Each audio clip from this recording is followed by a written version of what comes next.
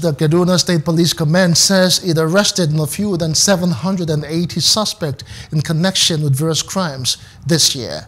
Commissioner of Police Yekini Ayoku said this while briefing newsmen on the command's achievement for the outgoing year.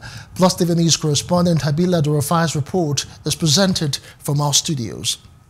Parading 30 suspects in Kaduna, Commissioner of Police Yekini Ayoku said 116 suspects were convicted in the state, noting that a huge number of arrests and recoveries were achieved by the command. 1,359 rounds of ammunition were equally recovered. Six, 17 bandits operational motorcycles were recovered. Seven, 21 armed bandits were neutralized. 8. 1,446 roasted livestock were recovered from different parts of the state. CP Ayoku said since the commencement of the political activities, the command has been keeping tabs to ensure a peaceful and hitch-free electioneering process in the state. Political game has to be played strictly by the rules. the need for political parties, office seekers, and their supporters to conform with the provisions of the Electoral Act 2022 and INEC guidelines was re-emphasized.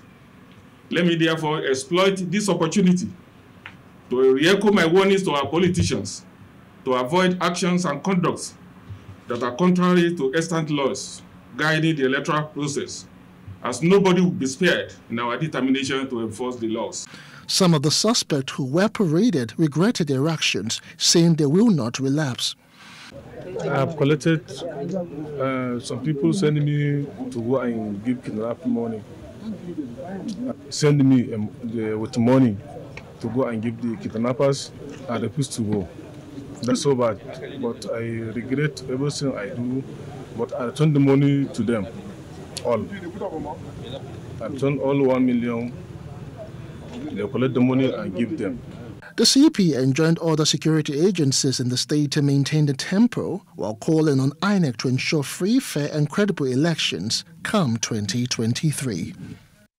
Hello. Hope you enjoyed the news. Please do subscribe to our YouTube channel and don't forget to hit the notification button so you get notified about fresh news updates.